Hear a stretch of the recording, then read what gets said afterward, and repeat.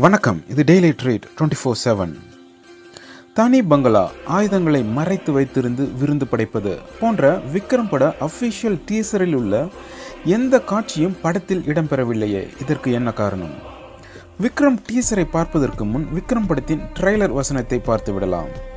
காடுன்னு ஒன்று இருந்தா சிங்கம் புலி சிறுத்தை வேட்டைக்கு போகும். மான் தப்பிக்க பார்க்கும். ஆனால் அதுக்குள்ள அஸ்தமனமாச்சுன்னா காலையில் விடியல பார்க்க போகிறது யாருங்கிறத இயற்கை தான் முடிவு பண்ணும். ஆனால் இந்த காட்டில் யார் எங்கே எப்போ விடியலை பார்க்க போகிறாங்கிறத முடிவு பண்ணுறது இயற்கை இல்லை. நான் தான். இப்போது டீசரை பார்க்கலாம். ஒரு அடர்ந்த காட்டுக்கு நடுவே ஒரு தனி பங்களா இருக்கும். ஒரு பக்கம் குக்கர் விசில் அடிக்க சோற்றின் பதத்தை பார்த்து வாழை இலையை கழுவி விருந்திற்கு ஏற்பாடு செய்வார் கமல். அதே போல விதவிதமான துப்பாக்கிகள் கத்தி பட்சர் நைஃப் போன்ற ஆயுதங்களை மறைத்து வைப்பார். அரசியல்வாதிகள் போலீஸ் அதிகாரிகள் மற்றும் பலர் மாஸ்க் அணிந்தவாறு உணவருந்து வந்து அமர்வார்கள். அப்படியே டேபிளுக்கு கீழே உள்ள கோடாரியை உருவி எறிவார். அதை யார் யார் மீது இருந்தார் என்பதெல்லாம் தெரியாது. Once upon a time there lived a ghost named Vikram படத்தின் டைட்டில் என்று வரும்.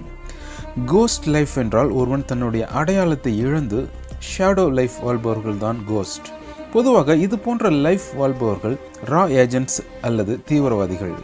இந்த டீசரில் அந்த கோஸ்ட் ஏஜென்ட் விக்ரம் நிஜ காட்டில் வேண்டுமானால் காலையில் விடியலை பார்க்க போவது யாருங்கிறத இயற்கை தான் முடிவு பண்ணலாம். ஆனால் இது விக்ரமின் காடு.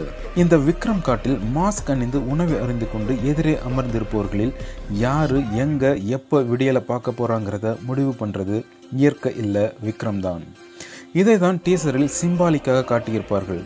டீசரில் காட்டப்பட்டிருக்கும் ஆயுதங்கள் அனைத்தும் படத்தில் இடம்பெற்றிருக்கும். அந்த பட்சர் நைஃபை படத்தின் கிளைமேக்ஸ் காட்சியில் ரோலக்ஸ் உபயோகப்படுத்தியிருப்பார். அதேபோல் டீசரில் கறி விருந்து காட்சியும் படத்தில் ருத்ர பிரதாப்பின் மகள் திருமணத்தில் வில்லேஜ் குக்கிங் சேனல் சமைத்து அனைவரும் உணவு அருந்துவது போல் காட்சி இடம்பெற்றிருக்கும். இந்த படத்தில் விக்ரமை சிங்கத்துடன் ஒப்பிட்டிருப்பார் இயக்குனர் லோகேஷ். போர்க்கண்ட சிங்கம் பாடல் வரிகளில் நாமும் அதை உறுதிப்படுத்திக் கொள்ளலாம். படத்தின் இடைவெளியின் போது கூட விக்ரம் எனும் சிங்கம் யார் யாரையெல்லாம் உணவாக அருந்த போகிறார் என மொபைல் வீடியோ காலில் ஒவ்வொருத்தராக சுட்டிக்காட்டி அவர்களை உண்பது போல் செய்கை செய்வார். டீசரில் சொன்ன ஆரம்பிக்கலாங்களா வசனம் மெயின் படத்தில் ஒவ்வொருத்தராக சுட்டிக்காட்டிய பின் சரியாக ஆரம்பிக்கலாங்களா என்பார். படத்தின் கதை எதை நோக்கி நகரப் போகிறது? கதையின் சாராம்சம் என்ன என்பதை தான் டீசரில் காட்டப்பட்டிருக்கும். அதனால்தான் டீசரில் காட்டப்பட்ட காட்சிகள் படத்தில் இடம்பெறவில்லை.